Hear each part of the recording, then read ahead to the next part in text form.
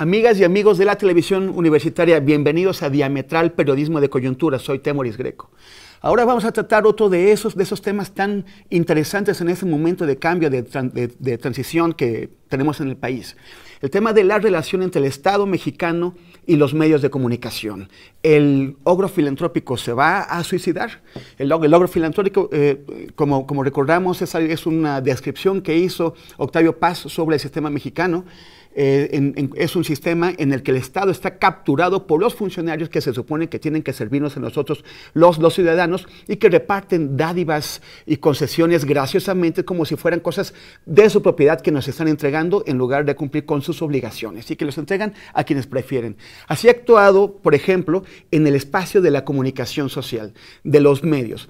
Eh, digamos, en la, publicidad oficial que eh, siempre se ha entregado eh, hacia los medios de comunicación que se alinean, que sirven a los intereses del, gobierno o de los funcionarios y que también se usa para castigar a aquellos medios que, por lo contrario, se niegan, se mantienen independientes y críticos y se niegan a seguir esta línea.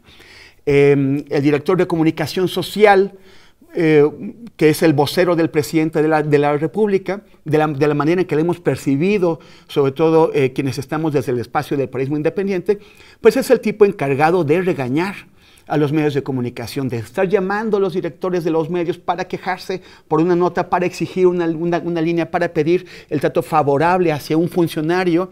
Y es el que también eh, se encarga, por ejemplo, de incluso de ver qué periodistas y qué personajes son beneficiados con el chayote, ¿no? con el dinero, con el soborno, con eh, la compra de un tratamiento pues, favorable. Eh, entonces yo lo veo como un ogro, ¿no? Y en este momento el logro es Jesús Ramírez Cuevas, es el que va a ser ahora el nuevo vocero de, López Obrador.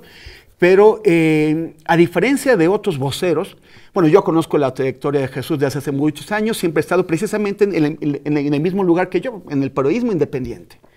yo quisiera, Jesús, antes de que hablemos un poquito de tus proyectos y tus planes, que nos, que nos hablaras de cómo tú también has visto a los directores de comunicación social de los presidentes hasta ahora, hasta antes de esta transición política. Bueno, eh, primero eh, comentaré el tema del logro filantrópico. Ese logro filantrópico del que hablaba Octavio Paz era el Estado benefactor autoritario.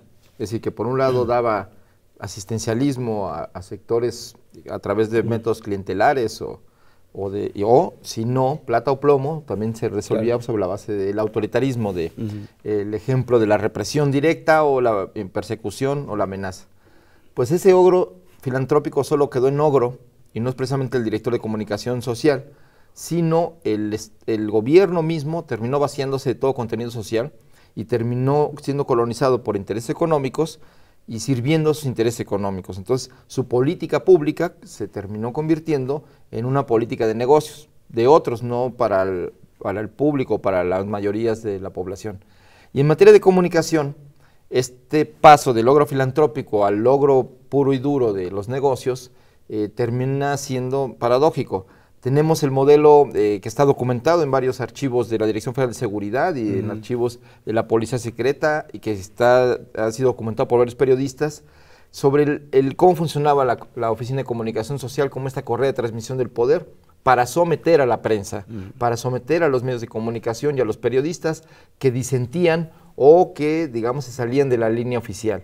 Entonces, la Oficina de Comunicación Social en el modelo autoritario tradicional del PRI era la punta de lanza para el control de la información, para censurar, para, para callar las voces críticas.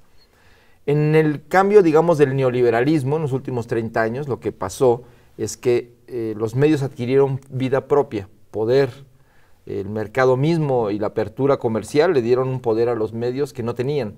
Entonces pasamos aquella frase que dijo el Tigre Azcárraga de Televisa, de que eh, éramos soldados, eh, los, dueños de los medios, en este caso de Televisa eran era soldado del PRI, pues pasó a la paradoja en 2012 a que el presidente se convirtió en soldado de las televisoras. Este es el cambio y entonces también cambió el papel de la comunicación social. Entonces, eh, digamos, mediada por los intereses económicos y por el dinero. Entonces, esta subordinación política, digamos, del poder público a los intereses económicos, se tradujo en las, en las políticas de comunicación social en una relación perversa de que, bueno, como ya el autoritarismo no funciona, lo que funciona es el dinero. Y entonces vimos enormes eh, cantidades de dinero destinadas a los medios de comunicación para la publicidad oficial, que se terminaron convirtiendo en una nueva correa de transmisión de los intereses del poder político y económico en, traducido a las políticas de información o políticas editoriales. Entonces, hemos visto que este gobierno pues, ha invertido como nunca, eh, pues hay cálculos que hablan de 60 mil millones de pesos en los últimos seis años, solo destinado a medios de comunicación, para buscar una comunicación favorable. Aquí la relación perversa es eh, que la comunicación social es un derecho de los ciudadanos, una obligación del gobierno para comunicar sus políticas, para explicarse y para transparentar la acción pública. Y no, se convirtió en una especie de plataforma de, para exhibir o para favorecer las por carreras políticas de ciertos funcionarios o para castigar otras. Entonces, este, esto tiene que terminar parte de lo que el primero de julio hemos vivido con esta decisión ciudadana de optar masivamente y contundentemente por un cambio, también implica un cambio de las relaciones del gobierno con los medios y en particular de la Oficina de Comunicación Social en relación a lo que debe ser la publicidad. Entonces, tiene que cambiar, eh, obviamente, es hacia, el mandato es hacia más democracia, más apertura y más transparencia. Por lo tanto, se va a acabar esto de que la Oficina de Comunicación Social o la Secretaría de Gobernación ya hagan llamadas a las, a las redacciones para despedir periodistas, columnistas, comentaristas o, para eh, querer corregir, digamos, de manera unilateral y de autoritaria o a cambio de unos pesos eh, el enfoque de las noticias, porque lo que queremos y lo que quiere la ciudadanía, y eso es importante, es un libre juego de expresiones, de, respeto a la libertad de expresión, de respeto al derecho a la información y una transparencia y un debate público importante sobre los temas que eh, atañen a la ciudadanía. Creo que eso es lo que debe cambiar y por lo tanto no debe haber ninguna correa de transmisión del poder, ninguna presión hacia los medios de comunicación, ni viceversa, porque ahora también puede suceder que como se ha anunciado un recorte de los recursos, pueda venir una presión de los medios para intentar buscar eh, que se amplíe la cartera a favor de la publicidad. O sea, con la técnica del, plata o plomo, los directores de comunicación social siempre se han, intentado asegurarse de conseguir una cobertura favorable. ¿no? E, e, esa ha sido su función antes. ¿Cómo entiendes tú ahora la función del, director de comunicación social? Bueno, eh, creo que lo primero es que la relación de los ciudadanos con el gobierno tiene que cambiar. Debe ser una relación democrática, donde los ciudadanos sean ciudadanos de primera, no de segunda, donde se les considere eh, gente inteligente, capaz de poder discutir, deliberar y conocer de los temas públicos, por ejemplo ahora el tema del aeropuerto, nuevo aeropuerto de la Ciudad de México, pues eh, que hay un cuestionamiento sobre si los temas técnicos deben ser o no deliberados y consultados. Creo que aquí ya hay un cambio de paradigmas. Creo que la sociedad mexicana ha mostrado la madurez suficiente para poder expresarse muy claramente a favor de un cambio, de una apertura, y esta tiene que traducirse también en la ampliación de temas de deliberación y de, debate, sacar el debate del Congreso hacia la sociedad, eh, sacar los temas del gobierno hacia la sociedad y sacar los grandes temas nacionales, los grandes problemas nacionales hacia la sociedad. Ese es el cambio, digamos, de narrativa y del papel que debe impulsar la comunicación social. No solo comunicar, digamos, eh, la parte de interés del gobierno sobre sus políticas públicas, sobre los mensajes obligados que hay frente a emergencias o frente a, para prevenir, digamos, desastres o prevenir enfermedades, sino también de promover el debate, la información, para que la gente pueda este, participar en, en, en la toma de decisiones. Esto puede parecer paradójico, pero ese es el, sentido del voto el primero de julio. Pero, por ejemplo, si, si ustedes sienten que, no se, que, los, que los medios no están reflejando, digamos, adecuadamente las, las, tareas que está llevando a cabo el, el, gobierno que va a entrar, ¿cómo van a, tratar de explicarlo o a promover que esto cambie de manera que ustedes se sientan más cómodos con ello? Bueno, yo creo que es importante que para que la sociedad avance hacia un estadio democrático más más amplio y, digamos, eh, mejor, pues tiene que haber una sinergia sociedad, medios y gobierno. Aquí eh, yo creo que le debe romperse la idea de la subordinación o del poder político a los medios o de los medios al poder político. Tienen que actuar con libertad, libertad de crítica, libertad de expresión y, cumpliendo, porque son un servicio público. ya la ley los define como un servicio público, entonces están para servir a los ciudadanos. Entonces, ese, ese, también el gobierno está para servir a los ciudadanos. Entonces, si logramos compatibilizar estas dos eh, tareas que de cara a los ciudadanos, no solo es un negocio los medios, también es un servicio público. Entonces, si logramos compatibilizar esta, estas dos tareas que son de servicio, pues podemos encontrar puntos de, encuentro y de, y de, consenso y romper esta idea de que uno debe subordinarse al otro, sea por el interés que sea. ¿no? Entonces, creo que eso es un principio eh, básico del cambio. Y por el otro, pues el hecho de que eh, el nuevo gobierno va a promover la libre discusión y deliberación y la información. Entonces también frente al fake news, frente a notas que, llevan intereses detrás o, que intentan, digamos, distorsionar eh, ya sea el mensaje o las políticas públicas del gobierno, pues nosotros también tenemos otras herramientas eh, directas para comunicarnos con los ciudadanos. Nosotros a través de los medios es una, pero a través de las redes sociales y a través eh, de otros medios públicos que podemos llegar directamente con los ciudadanos para explicar cuál es el punto de vista del gobierno y cuál es también la invitación del gobierno a los ciudadanos. Este es un cambio fundamental histórico. Por primera vez el gobierno eh, mexicano va a considerar a los, a los, ciudadanos parte de la acción de gobierno, es decir, vamos a invitar a los ciudadanos a vigilar, a fiscalizar, a tomar parte de las decisiones en las regiones, qué proyectos convienen,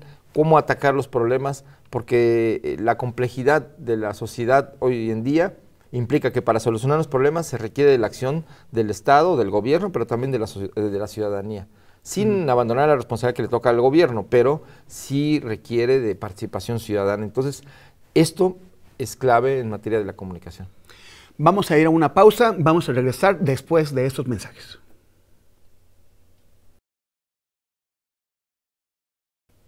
Estamos de vuelta en, Diametral, estamos conversando con Jesús Ramírez Cuevas, quien va a ser el vocero de Andrés Manuel López Obrador cuando eh, ocupe la presidencia, cuando tome posesión.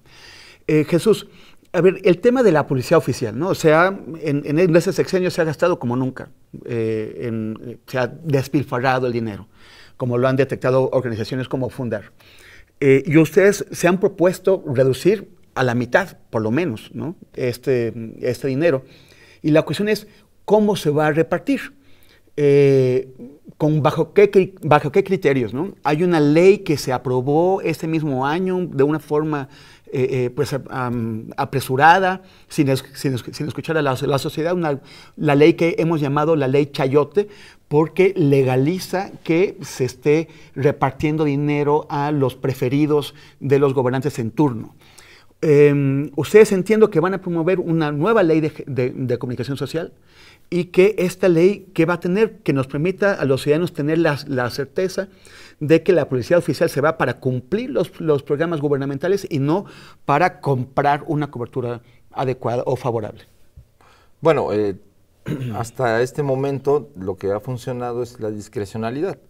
El poder político, las oficinas de comunicación social, porque no solo comunicación social de presidencia, mm. cada dependencia tiene su oficina de comunicación social, tiene un presupuesto los organismos autónomos, desconcentrados, descentralizados, las dependencias del gobierno federal, y ya no se diga el Congreso y los gobiernos estatales, cada entidad tiene dinero para esta, esta tarea. Y creo que es dinero público, por lo tanto tiene que transparentarse su uso y la sociedad debe saber cómo se gasta y por qué se gasta así.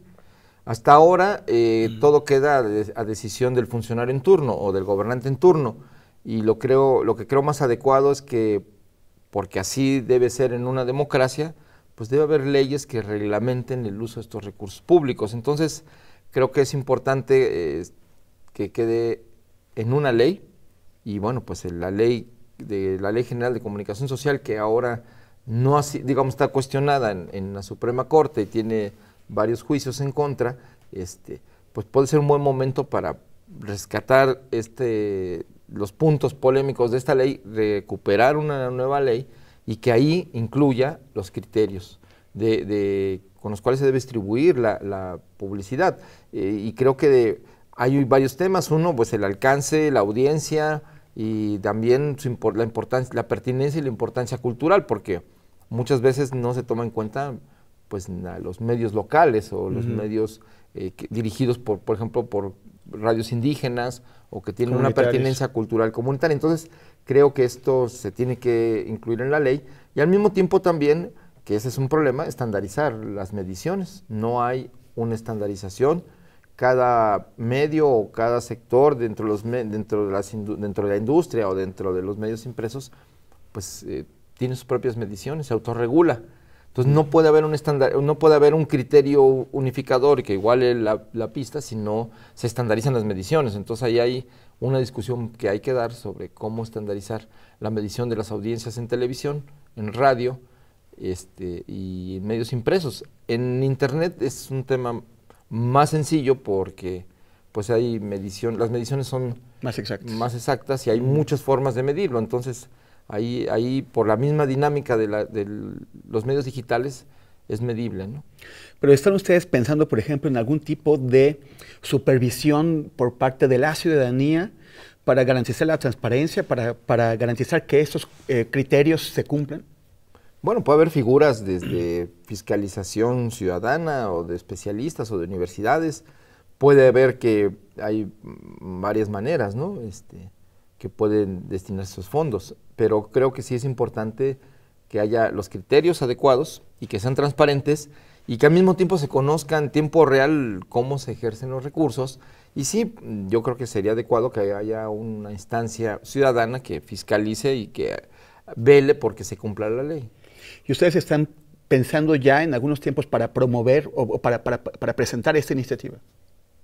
Bueno, eh, los tiempos se, se, van acortando porque eh, el gobierno entra en funciones el primero de diciembre. Entonces sí urge tener un marco previo a este momento porque pues para ejercer el gasto público que en materia de publicidad se va a hacer y además tomando en cuenta el reordenamiento porque se van a centralizar los recursos. Ya las dependencias no van a tener los recursos en materia publicitaria para evitar esta discrecionalidad del uso de, de los recursos públicos para promover la imagen del secretario o del funcionario en turno. Entonces, todo eso se va, se va a centralizar y bueno, lo mejor es contar con una herramienta jurídica, porque eso queremos, un Estado de Derecho y un Estado democrático, entonces este, que ahí se fijen las, las reglas. Ahora, tenemos eh, todos los, los medios que controla el Estado, ¿no? Estamos pensando en el Canal 22, el Canal 11, Radio Educación, en, bueno, y a, nivel eh, local hay otro montón de medios que están ahí. Em, ¿Habrá ¿Cuál, ¿Cómo va a emplear el nuevo gobierno estos medios de comunicación que, de, los, de, los que dispone? Bueno, hay, hay un tema en dos vías, ¿no? La primera es que son medios públicos, no son medios del gobierno. Los usos y costumbres del sistema actual, que además ya ha sido rechazado absolutamente por la ciudadanía, utiliza estos medios al servicio del gobierno, no al servicio de los ciudadanos. Entonces hay que cambiar esta, este paradigma y hacer verdaderos medios públicos.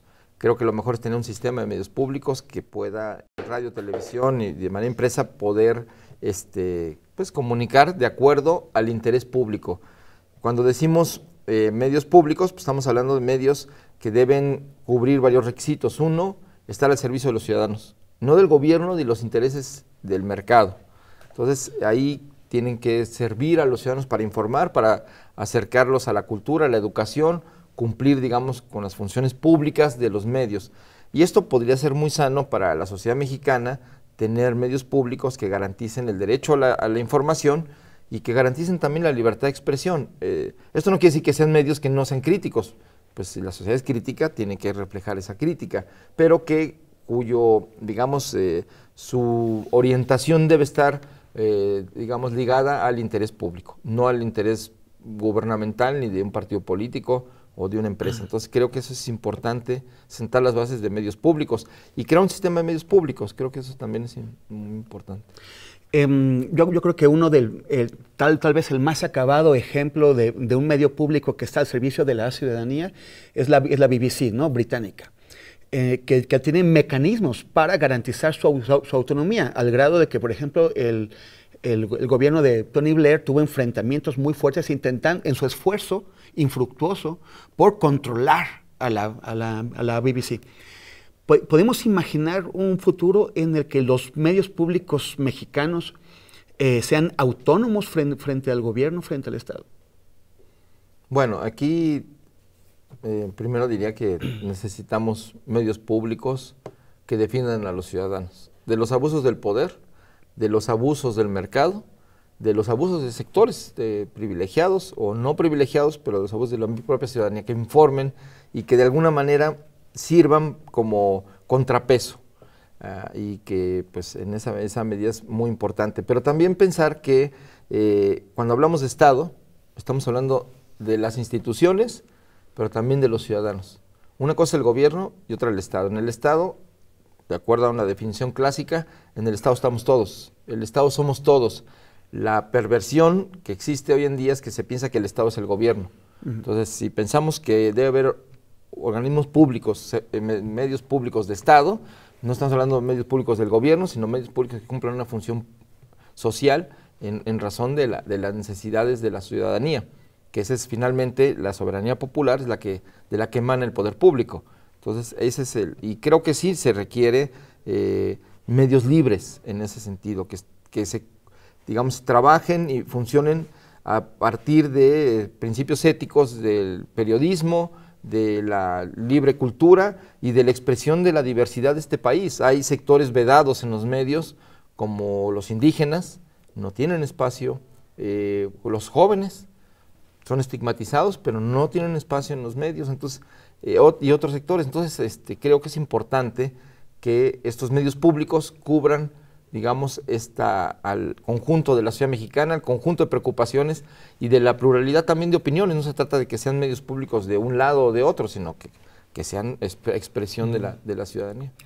En los años recientes y sobre todo en la, en la campaña, el, el, ahora presidente electo tuvo roces con intelectuales y con algunos periodistas, hubo eh, hizo algunos comentarios al respecto y por el otro lado se percibió como un intento de, no sé si de, censura, pero sí de acallarlos o de intolerancia hacia la crítica.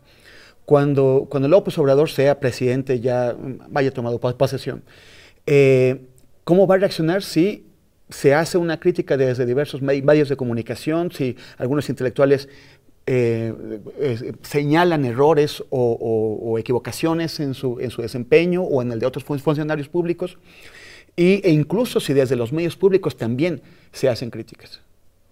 Bueno, yo creo que a nadie debía preocupar que haya debate, incluso desde la presidencia, o sea, del poder público, que se pueda debatir libremente, sin ataques, sin descalificaciones.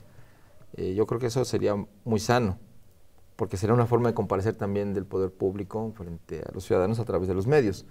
Yo creo que las polémicas que se han dado es en función de, también, digamos, este, no son descalificadoras, no son de un ataque a la libertad de expresión, son en todo caso el derecho de réplica que cualquier actor público o cualquier ciudadano debe tener frente a un dicho, frente a una afirmación o frente a un tipo de información que de acuerdo a su propio criterio, de acuerdo a, su, a lo que visualiza o de acuerdo a su propia comunicación, pues no corresponde a la realidad o eh, que es importante aclarar.